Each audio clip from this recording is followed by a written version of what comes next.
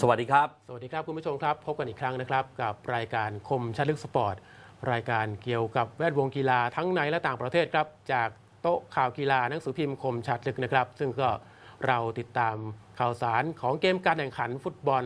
แล้วก็มีหลายเรื่องนะครับที่จะมานำเสนอกันครับ ทั้งหมัดหมัดมวยมวยๆก็มีนะฮะวันนี้ ใช่ครับผม วันนี้ก็ยังอยู่กับเราเหมือนเดิมครับ คุณดุลพลครับแล้วผมคุณอภิชาติครับผม แล้วก็พร้อมทีมข่าวของเนชั่นทีวีด้วยนะครับผมครับซึ่งเรามาอัปเดตข่าวให้ผู้ชมทางบ้านได้รับทราบนะครับผม แล้วก็ผลการแข่งขันกีฬาที่ผ่านมานะครับผมเมื่อค่ำคืนนี้ก็มีมากมายเลยนะครับอืมน่าสนใจซึ่งทีเดียวนะฮะแล้วก็ในวันนี้ก็ที่สำคัญนะครับเราจะมีฟุตบอล โดยเฉพาะถ้วยใหญ่ครับบุรีรัมย์นะฮะจะเปิดบ้านรับการมาเยือนของทีมจากต่างแดนที่เดินทางเข้ามานะครับผม ซึ่งก็รายละเอียดจะเป็นอย่างไรนั้น เดี๋ยวเรามาดูกันครับในแต่ละช่วงนะใช่ครับผม ช่วงแรกนี้เราจะมาอัปเดตสกอร์กันหน่อยครับว่า มีเกมการแข่งขันผลการแข่งขันเป็นอย่างไรกันบ้าง ซึ่งก็แฟนๆก็รอกันอยู่นะครับ ครับ ในช่วงของ scoreboard ครับ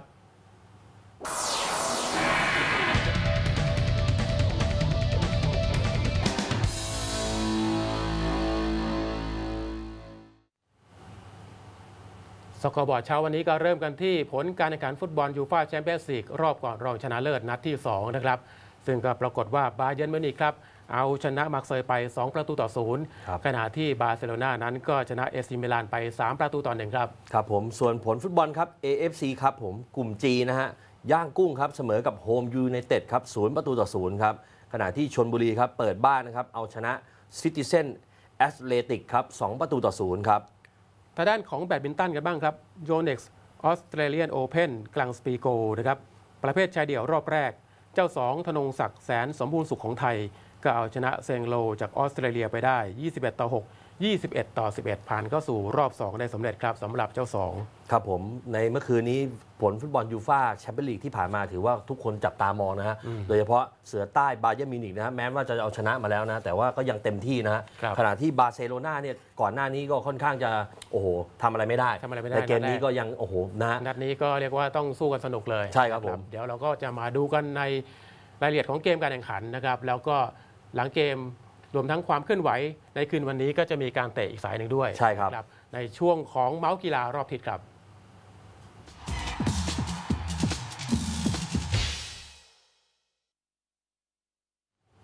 แน่นอนครับเมาส์กีฬารอบทิศจะต้องเริ่มกันที่ฟุตบอลยูฟ่าแชมเปี้ยนส์ลีกรอบก่อนรองชนะเลิศนัดที่ 2 เมื่อคืนที่ผ่านมานะครับ ซึ่งก็ทางด้านของแชมป์เก่าบาร์เซโลนานั้นก็เปิดคัมป์นูต้องรับการมาเยือนของปีศาจแดงดำเอซีมิลาน จากอิตาลีครับซึ่งโดยเกมแรกนั้นบาร์ซ่านั้นไปยันเสมอมา 0-0 ที่สนามซานซิโร่ครับ ถ้าเกิดว่าเกมนี้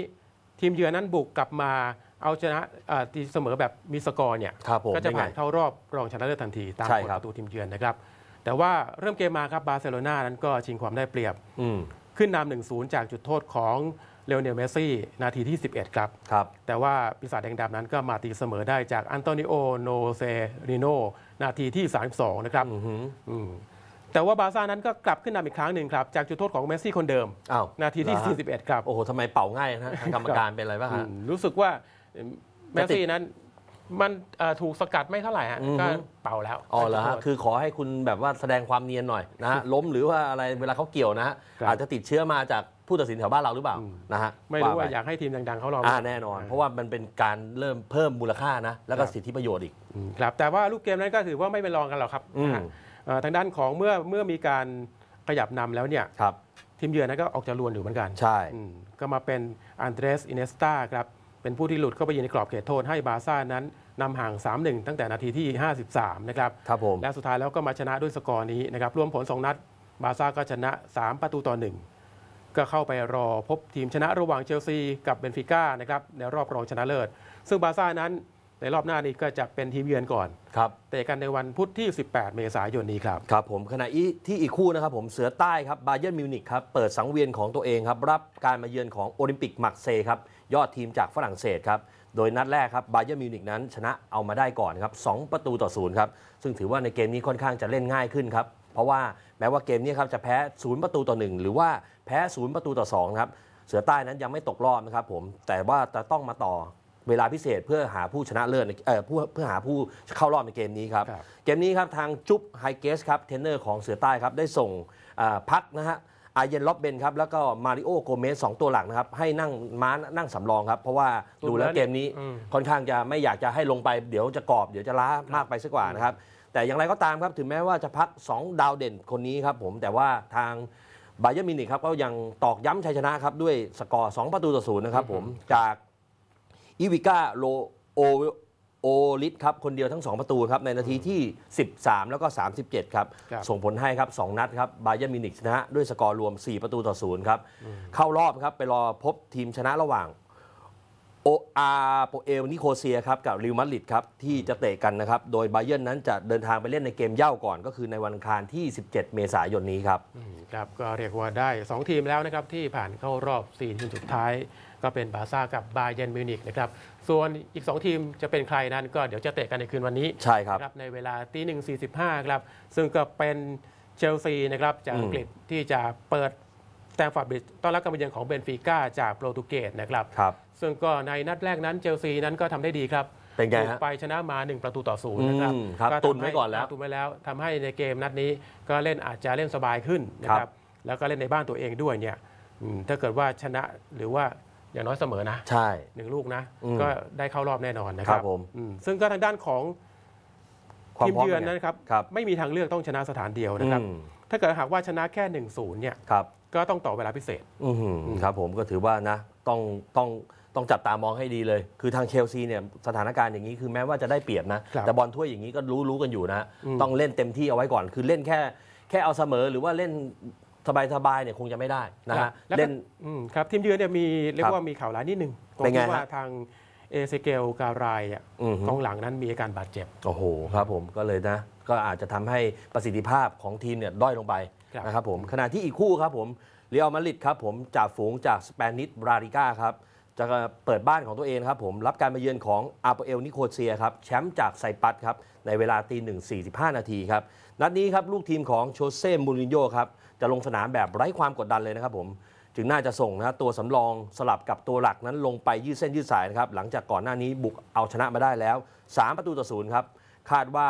ริคาร์โด้กาก้าครับ ยอดเพลย์เม k เกอร์ชาวบราซิเลียนครับ จะลงเป็นตัวจริงในเกมนี้ครับ ครับ ขณะที่ทีมเยือนครับ อีวานโยวานโนวิชครับ น่าจะผ่านมารอบนี้ได้ไกลที่สุดแล้วนะครับ ครับ เพราะว่าต้องชนะนะฮะในเกมนี้ให้ได้มากกว่า 3 ประตูขึ้นไปนะครับ แล้วก็เอ่อค่อนข้างจะลำบากนะครับ เพราะว่ามาเล่นในถิ่นของริวมาดริดเนี่ย ใครๆก็นะจะเอาแต้มกลับไป หรือว่าจะชนะเขาเกิน 4 เกิน 3 เม็ดเกินแค่ลูกหนึ่งก็ยากแล้วยากแล้วครับนะฮะจากคือ ฝูงสเปนิชลาลิก้าเนี่ยถือว่าลิวมาดริดตอนเนี้ย แรงสุดๆแล้ว แรงสุดๆแล้วใช่ครับครับผมจะมายิงถล่มทลายคงเป็นไปไม่ได้ครับและเชื่อว่านะฮะในมุมกับการยิ่งบุกยิ่งโดนนะฮะครับเพราะว่าในเมื่อคุณเปิดหน้าแรกแล้วเนี่ยมันจะเข้าทางกับลิวมาดริดเลยที่เขาชอบ แล้วการจังหวะโต้กลับเร็วของเขาซึ่งเกมนี้กาก้าเนี่ยลงมาแน่นอนครับนะฮะก็เรียกว่าขอให้แลกมาเถอะ ขอให้แรกมาโดนขอให้แน่เปิดหน้ามาโดนแน่ คือโดนมากหรือโดนน้อยก็ว่ากันไปครับนะครับผม ก็เรียกว่าน่าจะสนุกในคู่ของเชลซีนะครับผมเพราะใช่ว่าเป็นคู่ที่ยังมีลุ้นอยู่ สูสีเลย สูสีอยู่นะฮะครับ แต่ว่าเชลซีเนี่ย ก็ตามสถิติแล้วเนี่ยเกมเย่ายูฟ่าแชมเปี้ยนส์ลีกในฤดูกาลล่าสุดนี้นะครับ เป็นไง เชลซีนี้ก็เรียกว่าชนะรวดตั้งแต่รอบแบ่งกลุ่มแล้วนะ อืมผลงานค่อนข้างจะเสมอต้นเสมอปลายดี แต่ไม่รู้ว่าจะเป็นพวกเอ่อมาตกม้าตายในรอบลึกๆ หรือเปล่า เพราะครับฟุตบอลช่วยนี้มีอาถรรพ์เยอะนะ ใช่ครับ แม้ว่าจะโอเคในรอบแรก ๆ แสดงผลงานสร้างผลงานที่ดีออกมา แต่ว่าในรอบจัด สินชี้ชะตาแล้วเนี่ยพลาดท่าตกรอบเพียงเสี้ยววินาทีเนี่ยก็ถือว่ากลับบ้านน้ำตาตกในได้นะคุณหนุ่ม ใครเป็นแฟนทีมจากอังกฤษนะอครัยาบกให้ทีมอังกฤษเข้าไปสักทีมหนึ่งอ่าครับแน่นอนไปลุ้นเชลเชลซีกันนะครัใช่ครับ มีโอกาสนะครับ จากฟุตบอลทางยุโรปเราก็มาที่เอเชียกันบ้าง บ้านเรา บ้านเราครับ AFC ครับนะครับซึ่งเมื่อวานนี้ก็เรียกว่าเตะกันสนุกสนานครับ อืมที่ชนบุรีนะครับชนบุรี FC นั้นก็เปิดบ้านพบกับซิติเซนทีมจากฮ่องกงนะครับ ครับ ซึ่งก็ก่อนเกมการแข่งขันเนี่ย เป็นไงฮะ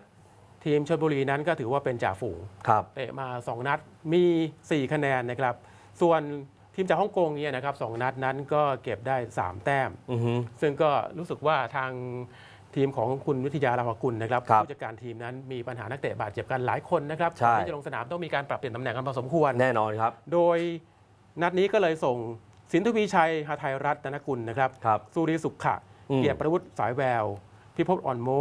ชนลทิศจันทคามครับแล้วก็ลูโดวิกทาคามอืมลงมาสนามเป็นการผสมผสานนักเตะชุดใหญ่กับนักเตะตัวสำรองครับครับผมทางฝั่งทีมเยือนนะครับ ก็มีชุดใหญ่ลงมาสนามเลยครับใช่ครับ ก็มีชาญมันชุงอืมเฟสซันไปเซนะครับโซลอยกรุงชามพอกคุงลงสนามครับครับผมครึ่งแรกนี่เป็นไงครึ่งแรกผลานี่ทั้งก็คู่ชลบุรีนั้นเล่นได้ดีครับครับครองเกมบุกได้มากกว่า แต่ก็ยังจบสกอร์ไม่ได้ครับจังหวะสุดท้ายนั้นก็เรียกว่ามีแต่หวาดเสียวยังทำอะไรไม่ได้เสริมก็ไปศูนย์ศูนย์ในครึ่งแรกครับครับผมขณะที่ในคครึ่รึ่งงหหลัลังงครับฉลามชนครับได้เปลี่ยนเอา 2 ผู้เล่นตัวหลักลงมาก็คือเจ้าป๊อปครับเทิดศักดิ์ใจมั่นครับแล้วก็อดุลละโสนะฮะลงมาแทนครับโดยแทนนพนนท์คชพายุครับกับลูโดวิดจันอ่าทาคามครับ แล้วแค่ 2 นาทีครับ หลังจาก 2 ตัวนี้ลงมานะครับผมชุนบุรีก็ได้ประตูขึ้นนำไปก่อนครับ เมื่อนัทพงศ์สมนะครับ เปิดบอลไปโดนแขนครับ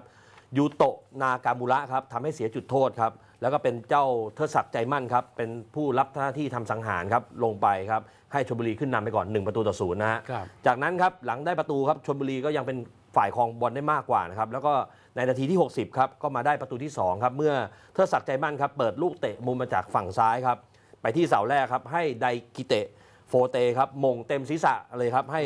ชลบุรีครับ ตอกย้ำชัยชนะ 2 ประตูต่อศูนย์ครับแล้วก็จบด้วยสกอร์นี้ครับ คว้าสามแต้มในบ้านได้อีกครั้งหนึ่งอ่าก็นะเรีฮะยบร้อยเลยครับอีกคู่ในสายเดียวกันนะครับย่างกุ้งยูไนเต็ดจากพม่าครับก็เสมอกับโฮมยูไนเต็ดจากสิงคโปร์ไปศูนย์ประตูต่อศูนย์นะครับอืม ส่งผลให้ชลบุรีนั้น ก็ตอนนี้รักษาตำแหน่งจ่าฝูงเอาไว้ได้ครับ มี 7 คะแนนจากครับ การเล่น 3 นัดนะครับ ส่วนโฮมยูไนเต็ดนั้นเป็นรองจ่าฝูงนะครับก็มี 4 คะแนน ซิติเซนทีมอันดับ 3 ต่อไปครับ มี 3 คะแนนย่างกุ้งนั้นทีมอันดับสุดท้ายมีแค่ 1 คะแนนครับ ครับผมก็ถือว่าต้องส่งใจเชียร์เยอะๆนะฮะ เพราะว่าถือว่าเป็นหน้าตาของสโมสรไทยครับ อย่างชนบุรีเนี่ยก็ถือว่าเป็นทีมที่ค่อนข้างจะมีศักยภาพมีระบบระเบียบบริหารจัดการนะครับเขาสร้างนักเตะตั้งแต่เยาวชนเลยนะคุณหนุ่มนะครับเขาเอาเด็กๆ ตั้งแต่อายุ 12 14 16 18เนี่ยไปฝากเรียนโรงเรียนต่างๆ ฝากเรียนเสร็จปุ๊บเด็กพวกนี้ก็จะมีความสามารถมีเงินดงเงินเดือน ครับแล้วก็จะมาเป็นนักเตะของสโมสรชนบุรี ครับ แล้วก็ภายในจังหวัดของชนบุรีเนี่ยเขาจะมีแข่งขันฟุตบอลลีกกันเองเลยนะ ถึงทำให้ทีมจังหวัดของเขานี่ค่อนข้างจะแข็งแกร่งสร้างนะฮะตั้งแต่เยาวชนขึ้นมาเลย ใช่ครับ แล้วก็ถือว่าเป็นแบบอย่างอยากจะให้สโมสรอื่นหรือว่าจังหวัดอื่นๆเนี่ยลอกเรียนแบบได้เลยเพราะว่าลีกดีๆ ในบ้านเราเนี่ยตอนนี้กำลังเจริญเติบโต แต่ถ้าเกิดว่าทุกคนไม่ช่วยกัน หรือว่าประเภทแบบว่า คนบางคนที่ทำให้วงการฟุตบอลมันเสียเนี่ยมันจะทำให้เกิดความเสียหายในระยะยาวได้นะคฮะรับเราเราข้ามมากันที่ข่าวๆของบัตรมวยกันก่อนดีกว่านะครับผมครับบัตรมวยการป้องกันแชมป์โลกของนักชกไทยของเราครับ เป็นไงครับใครฮะอ่าเรียกว่าในครั้งนี้ครับเป็นคราวของเทพฤทธิ์ศิษย์หมอเส็งนะครับ ซึ่งเป็นเจ้าของแชมป์รุ่นซูเปอร์ฟลายเวทสมาคมมวยโลกครับก็เดินทางไปประเทศญี่ปุ่น เพื่อที่จะป้องกันตำแหน่งกับโทโมโนบุชิมิสึครับอืมเป็นแชมป์เวลาพักชาวญี่ปุ่นนะครับก็ครัคืบอว่าเขาเป็นแชมป์นั่นแหละอืมแต่ว่าเขาก็พักไปไม่ได้ป้องกันแชมป์เพราะว่ามีอาการบาดเจ็บครับนะแล้วก็กลับมาเพื่อที่จะทวงบัลลังก์ของตัวเองนะครับชกกันครับวันพุธที่ 4 ก็คือวันนี้เลยก็คือวันนี้แหละครับครับก็เวลา 16นาฬิกา30 นาทีนะครับครับก็ติดตามเชียร์กันได้ครับ โดยแชมป์ชาวไทยครับวัย 22 ปีนั้นก็เมื่อวานนี้มีการไปชั่งน้ำหนักกันแล้วเป็นไงคฮะบผ่านเรียบร้อยเนาะก็ผ่าน 115 ปอนด์ครับตาม ตามพิกัดเลยนะครัใช่ครับ ทั้งคู่เลยครับทั้งจิมิสึช่างคนแรกก็ผ่าน อืม แชมป์ชาวไทยก็ช่างผ่านเหมือนกันครับครับ พอช่างเสร็จแล้วเนี่ยนะครับก็รีบไปทำน้ำหนักไปทำหนักรีบไปไปกินกันไปเอ่อครับ ไปบำรุงร่างกายต่อเต็มที่เลย ผ่านปุ๊บเนี่ยครับหลังจากที่รีดน้ำหนักตัวเองมาพอสมควรแล้วเนี่ยก็ครับเรียกว่า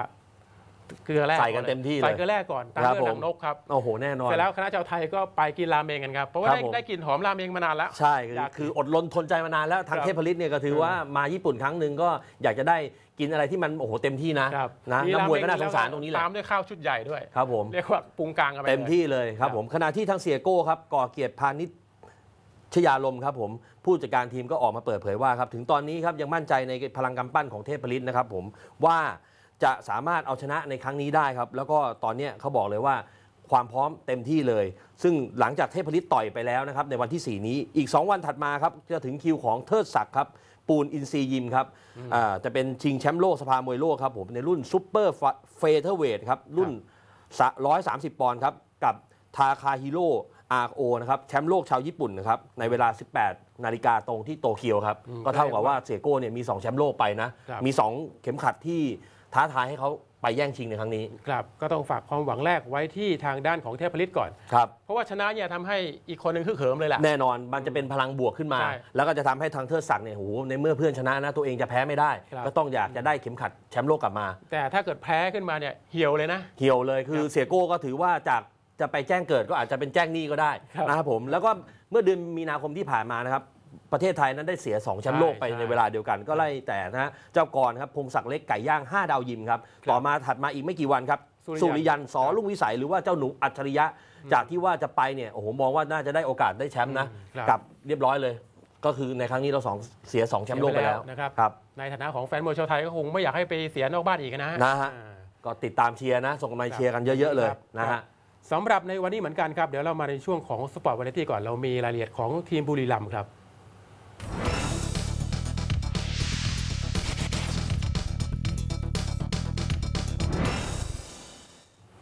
ช่วงท้ายของรายการนะครับ เป็น sport variety เราจะมาดูความเคลื่อนไหวของทีมบุรีรัมย์ยูไนเต็ดนะครับ ที่ครับ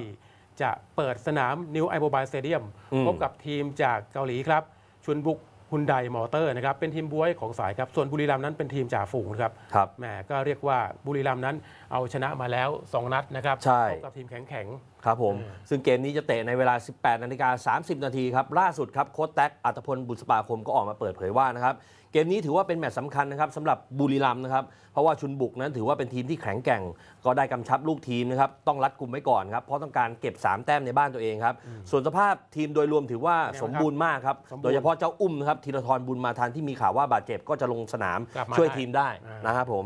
แล้วก็เขาบอกเลยฮะทางโค้ชแต๊กบอกว่าแม้ว่าประสบการณ์ของบุรีรัมย์นะครับในถ้วยใบนี้ครับจะยังไม่ยาวนานเท่าไหร่นัก แต่ว่าทีมเรานั้นมีทีมเวิร์กแล้วก็เกมบุกที่ดีที่สุดครับ ครับ อย่างไรก็ตามครับจะไม่ประมาทเล่นอย่างเต็มที่ครับ โดยเฉพาะเกมเนี้ต้องจับตามองให้ดีครับ นักเตะของบราซิลก็คืออีนินโยครับของทีมเยือนนั้นค่อนข้างจะมีฝีไม้ลายมือค่อนข้างดี แผ่วๆหน่อยนะแพรวพราวก็ต้องจับตาให้เป็นพิเศษเลย คืออย่าให้เขาแผงฤทธิ์ได้ ครับ ถ้าเกิดว่าเจ้าอีนินโยแผงฤทธิ์เนี่ยอาจจะน้ำตาตกในก็ได้นะ ครับแต่ว่าทางด้านของบุรีรัมย์แล้วก็มีเกมที่หลากหลายเหมือนกันนะ ใช่ครับ สังเกตว่าในการที่เตะสองนัดที่ผ่านมาที่ชนะคาชิวะเลโซของญี่ปุ่น แล้วก็บุกไปเอาชนะกวางโจวเอเวอร์แกรนด์ได้เนี่ยครับครับถึงประเทศจีนเนี่ยใช่ถือว่าเป็นที่จับตามองเลยโอ้สำหรับทีมนี้เป็นครับทีมที่เพิ่งเกิดใหม่ถูกมาจาต้กองเมืองไทยคนงงเลยเลย คือคนชาวเอเชียนักเตะชาวเอเชียทั้งหลายเนี่ยสโมสรต่างๆเนี่ยเขางงเลยเอ้ยนี่มันครับมาจากไหนบุรีรัมย์คืออะไรใช่ไหมฮะแต่หลังจากแผลงฤทธิ์แล้วเนี่ย ต้องบอกเลยว่าจับตามองให้ดีครับ เพราะอีก 3 ปีข้างหน้าเนี่ยบุรีรัมย์เนี่ยจะเป็นเจ้าของเอเชียให้ได้ครับซึ่งคุณเนวินเนี่ยบอกเลยว่าทั้งระดมทรัพย์ระดมสมองระดมทุกสิ่งทุกอย่าง เต็มที่กับวงการฟุตบอล นะฮะก็ถือว่ายี่ห้อนี้ก็ต้องจับตามองให้ดีนะบุรีรัมย์แล้วก็แมวมองเขาดีนะแน่นอนฮะดึงตัวนักเตะมาเนี่ยแต่ละเอาของจริงตัวเขาไม่ได้เอาซื้อมาจากเซินเจิ้นหรือว่าไม่เอาที่โบเบ้มาเขาเอาแต่ของจริงมาไม่มีของปลอมทำเหมือนนะฮะไม่เหมือนกับบางสโมสรเนี่ยโอ้โหมาแล้วราคาอัพกงอัพเกรดกันไปครับทั้งที่จริง ๆ อาจจะเดินอยู่แถวนานาก็ได้ เป็นพวกฝรั่งแอฟริกาอะไรมาจากนานาตกเครื่องก็ว่ากันไป ตกเครื่องแล้วก็มาเตะเท่าหน่อยลีกหนึ่งครับห้าหกเดือนแล้วเดี๋ยวเอาตังค์ไปอย่างเงี้ยฮะอันนี้ของจริงแท้ๆทั้งนั้นทางด้านนะของโค้ชของชุนบุกครับลีฮึงชิวนะครับก็พูดเหมือนกันว่าเกมที่พบกับบุรีรัมย์เนี่ยก็เลยถือว่าเป็นเกมสำคัญเพราะว่าเขานั้นก็แพ้มาใช่สองนัดแล้วนะครับก็คงจะถอยไม่ได้นะครับอือฮึอ่าแล้วก็เรียกว่าก็หวังที่จะเอาชนะให้ได้ล่ะครับนะผมเพราะรู้ว่าบุรีรัมย์นั้นก็เก่งในบ้านด้วยแหละแน่นอนะครับครับผมแล้วก็เกมนี้บอกเลยครับว่า คือถ้าเขาแพ้อีกชุนบุกนะฮะก็ต้องรับสภาพนะอ่าบวยแต่แน่แต่นยัองนไงแล้วแต่เขาว่าถามว่า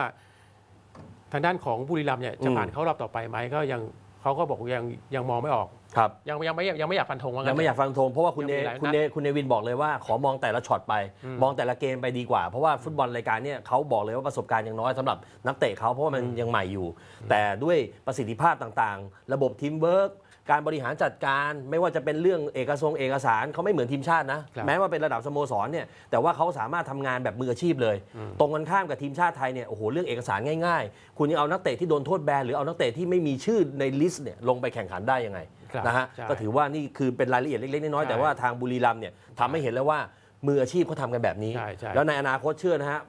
ถ้าเกิดว่าคุณเนวินยังอยู่กับวงการฟุตบอลเนี่ย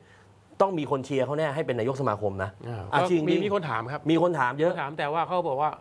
ขอไม่เอาไม่เอาไม่เอา เพราะว่าคนระดับปฏิเสธคุณเนวินเนี่ยถ้าโดนปลดล็อกจากบ้านเลขที่ 111 ไปแล้วเนี่ยครับนะฮะจะมีโอกาสไปที่ใหญ่กว่านี้ แต่ว่าคือฟุตบอลเนี่ยมันอยู่ในหัวใจของคุณเนวินอยู่แล้ว เพราะว่าไม่งั้นจะสร้างเด็กตั้งแต่โรงเรียนสวนกุหลาบนะก็สร้างเด็กขึ้นมาอะไรต่างๆ มากมาย ก็บอกเลยครับว่าต้องจับตามอง อยากให้วงการฟุตบอลมันพัฒนาก็ต้องช่วยกันร่วมมือกันครับแต่ก็ไม่แน่นะ ถามบ่อยๆอะอ่าฮะถ้าถามถามบ่อยๆอ่าอะถามบ่อยๆก็คือลำคาญก็อ่าเป็นแล้วกัน เพราะว่าด้วยด้วยเอ่อภาวะการเป็นผู้นำทุกสิ่งทุกอย่างเนี่ยพร้อมหมด ครับ เงินเนี่ยก็บอกว่ามหาศาล ครับ ครับคือที่สนามไอโมบายสเตเดียมนะครับใครอยู่ใกล้ ๆ ก็นะฮะบุรีรัมย์ไปชมได้เลยปชมได้ครับ คือบัตรก็ 150 บาทใน ครับ อาจารย์ตรงฝั่งหลังประตูนะครับใช่200 บาทก็ฝั่งมีหลังคาครับนะครับก็ไปเชียร์กันได้ ไปเชียร์เลยครับอย่าขอฟรีครับเพราะว่าวงการฟุตบอลจะดีก็ต้องช่วยกันนะฮะเพราะโดยประเภทแบบตั๋วเบ่งตั๋วขอเนี่ยขอเถอะครับเพราะว่าคุณเนวินก็ลงทุนมาเยอะครับเป็นพันล้านนะครับกว่าจะมีวันนี้ได้จะมาขอตั๋วแค่ร้อยกว่าบาทเนี่ยผมว่ามันน่าเกลียดกันไปนะครับความเห็นแก่ตัวเนี่ยพยายามอย่ามีในวงการฟุตบอลก็แล้วกันครับย้ำอีกครั้งนะครับก็เตะเวลา 18นาฬิกา30 นาทีนะครับก็เชียร์กันได้เชียร์เชียร์มวยแล้วก็อย่าลืมเชียร์บอลใช่ครับผมแหมก็ว่า เพราะว่าความจริงแล้วเนี่ยทีมบุรีรัมย์ก็ถือว่าอยู่ในสายแข็ง แต่ว่าครับ กลายมาเป็นจ่าฝูงซะอย่างนั้นเลย อ่าแน่นอนถือว่าเป็นม้ามืดนอกสายตาครับ โดยเฉพาะเกมที่ชนะกวางโจวได้เนี่ยโอ้โห ชาวกวางโจวนี่ร้องไห้ระงมเลยนะครับ ก็ตกใจว่าเอ๊ะทำไมทีมนี้มันมาจากไหนมาเอาชนะได้ยังไง เพราะทีมของกวางโจวเนี่ยถือว่าเป็นทีมสูงสุดของเขาด้วยแล้วเป็นนักทีมเตะที่ แต่ละตัวนี่แพงๆทั้งโอ้นั้น แพงๆ ทั้งนั้นราคาเนี่ยโอ้โหสูงลิบเลย แต่ว่ามาเจอบุรีรัมย์ที่ราคาแบบ นะหน่อมแนมจอาจนจะผู้สื่อข่าวของจีนเองเนี่ยหลังเป็นไงหลังจากเกมการแข่งขันเนี่ยครับถึงกับมาถามทางด้านโค้ชแต๊กเลยนะ อืม ว่าทำยังไง ว่าทำยังไงให้เป็นอย่างนี้ได้มีเคล็ดลับยังไง นะฮะโอ้โห ก็ถือว่านะ ต้องส่งใจแรงเชียร์กันมาก ๆ เลยครับ บุรีรัมย์ ครับนั่นก็เป็นช่วงของ sport variety นะครับ ของรายการคมชัดลึกสปอร์ตในวันนี้ครับ ซึ่งก็คงเวลาคงหมดแล้วนะครับครับ ผมดุลพลทองสุขชวี และคุณอภิชาติรีวิวัฒน์ก็ต้องลาไปก่อนครับ พบกันใหม่พรุ่งนี้ครับ สวัสดีครับ สวัสดีครับ